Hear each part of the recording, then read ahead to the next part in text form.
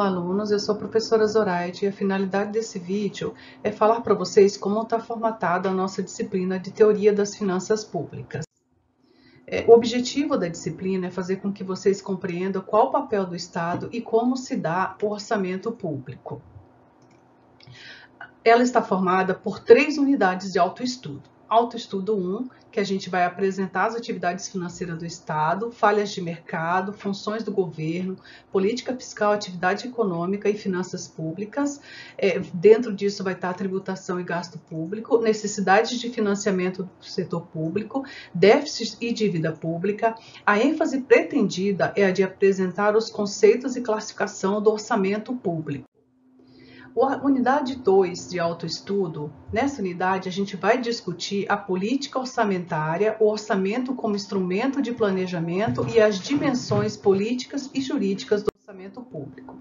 Na unidade 3 de autoestudo, serão apresentadas o comportamento e o conceito das finanças públicas no Brasil e as instituições financeiras brasileiras com as principais questões atuais de finanças públicas.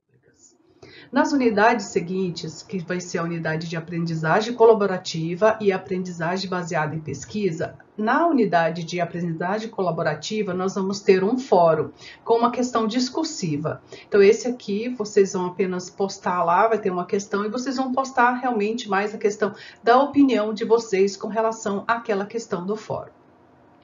Já na, na, na aprendizagem baseada em pesquisa, a gente vai ter lá é, uma questão, né, enfim, um problema, e que vocês deverão fazer um arquivo, né, deverão gerar um arquivo é, de no mínimo uma página e no máximo duas páginas. E esse arquivo, esse texto que vocês vão colocar é com relação à política brasileira, à, à política fiscal brasileira, as questões atuais da política fiscal brasileira.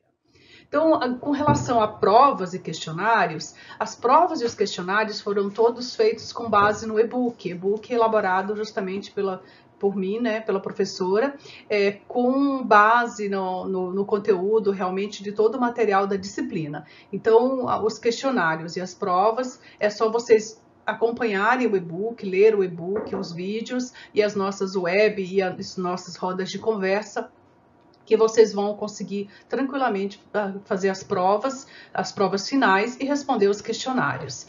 Ao final da disciplina, então, nesse caso, você será capaz de compreender os principais aspectos em que as finanças públicas estão inseridas, que são tão necessárias para que os governos obtenham a saúde financeira do Estado e para que sejam bem aplicados recursos revertidos em serviços públicos e de qualidade para a população.